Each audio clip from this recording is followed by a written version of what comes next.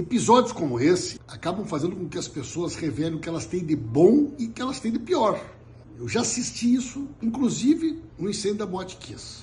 Pessoas que se aproveitam para tentar fazer disputa política, semear fake news, insinuar que o trabalho de resgate não está sendo feito de forma adequada por algum tipo de motivação. Pega uma declaração do presidente Lula quando ele diz que não é o momento de ter divisão, que nesse momento todo mundo tem que ser Grêmio e Inter. Claramente o presidente falou que é hora de estar todo mundo junto. Mas aí as pessoas mal intencionadas utilizam uma declaração como essa como se o presidente estivesse falando de futebol. Então nós estamos nos deparando também com uma disputa desonesta de narrativa que se aproveita do momento de dificuldade para explorar de uma forma absurda. Não respeitam sequer as vidas que estão sendo perdidas, no momento que a gente precisaria que todo mundo estivesse trabalhando junto, como centralidade, buscar salvar vidas, resgatar centenas de pessoas que estão ilhadas, ajuda humanitária, apoio para aqueles que precisam. Essa é a orientação do presidente Lula.